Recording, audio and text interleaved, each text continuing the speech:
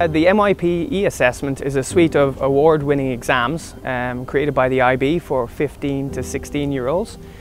It's recognised by national governments and awarding bodies such as Ofqual in the UK.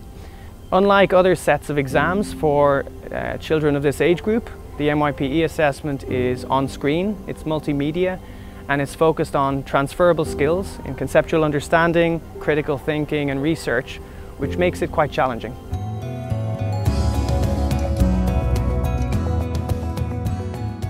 Pour me préparer pour les e-assessments à la fin de l'année passée, chaque année, j'ai préparé des notes de révision pour chaque unité. Les profs m'ont beaucoup aidé pour les e-assessments. Ils savaient exactement qu'est-ce qu'il fallait réviser et comment réviser. Ils nous ont donné les techniques pour euh, bien réviser. At SASD, we offer the e-assessment exams not only in English, but also in French and in German. And this is an important opportunity to allow the students to attain a bilingual certificate, which gives them a step up in today's modern world. Les sujets où j'ai le mieux réussi sont les maths et le français. Le français, j'ai eu une note de 7 sur 7 et les maths, j'ai eu 6 sur 7. Pour le projet personnel, j'ai une note de 7 sur 7 et pour mon projet personnel, j'ai créé un livre de recettes sans gluten.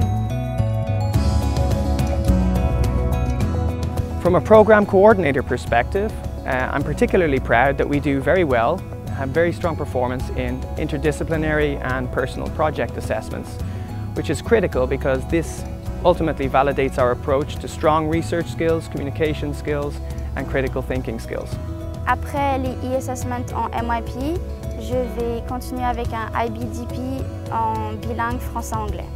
Only about 10% of MYP candidates actually take the full suite of MYP exams. So why does SISD take it?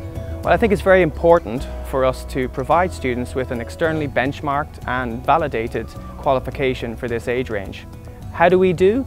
Our uh, school pass rate and school average are comfortably above uh, the world averages. This year we had 20 students taking the MYP e-assessment and uh, this is already growing for our next cohort and will continue to expand over the next number of years.